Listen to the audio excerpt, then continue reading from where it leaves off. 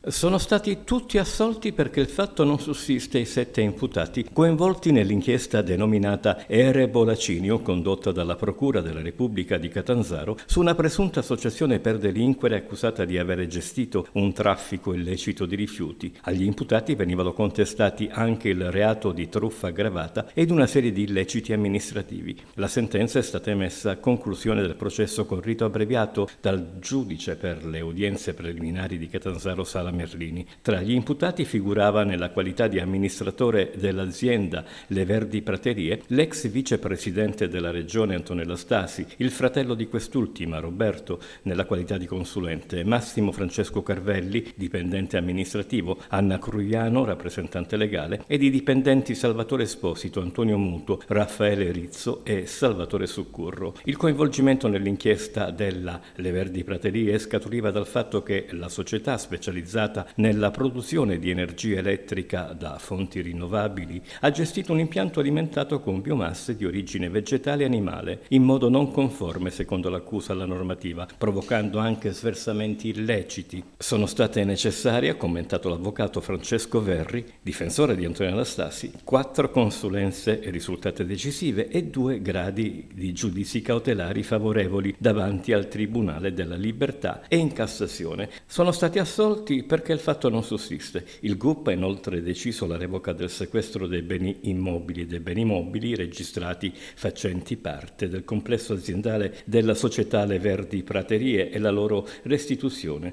agli aventi diritto. L'inchiesta aveva contestato a soci, manager e dipendenti della società un'associazione per delinquere finalizzata al traffico di rifiuti e alla commissione di una truffa ai danni del gestore dei servizi elettrici destinatario dell'energia prodotta dall'impianto.